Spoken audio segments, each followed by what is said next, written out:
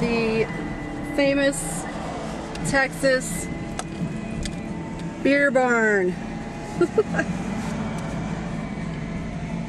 Driving in, buy beer, buy goodies. I won't put you on film. You like it? Yeah, I love it. I'm actually from here. You, you from here? Yeah, but this is for everybody else back from Oregon.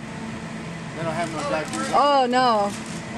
They don't have beer barns. They don't have drive through a lot of things like in Wales and the UK. They've never heard of anything like this. So that's what I'm getting.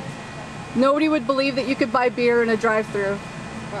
In San Antonio, you could come to a drive through and buy liquor.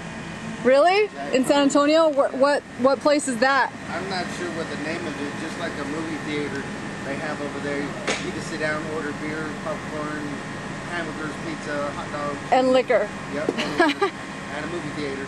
And they come to you just like a waitress. And that's in San Antonio? Yes, ma'am. Is that at the Palladium or? I'm not sure. I've, I've been to San Antonio for years. I need to get a uh, money order, $206. 206 even? Yeah. Okay.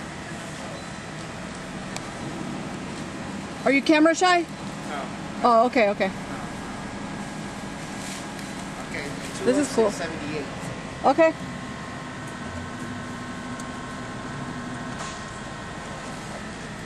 And then you just drive on out. And they've got all their goodies right here, but you cannot get out of the car. That's the only stipulation. Even though I've seen people walk up, you're not allowed to get out of the car. Two lanes. This is our Texas beer barn.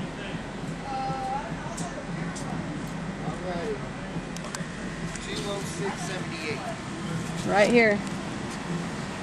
Cash. Check out the cash. Thank you. And the prices are good. 78 cents for a money order. Right on. Loving it.